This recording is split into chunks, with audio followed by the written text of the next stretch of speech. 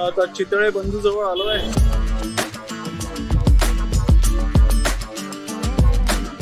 आता भाकरवडी घेणार आहे. भरपूर काउंटर्स आहेत. मिठाईचे आणि भाकरवडीचे. सर्वात पहिल्यांदा भाकरवडी घेतो.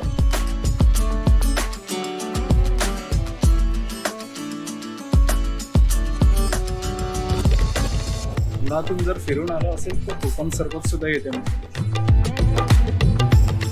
मिठाईचा काउंटर आहे. बॅक साईडला आंबावडी आहे सुकी.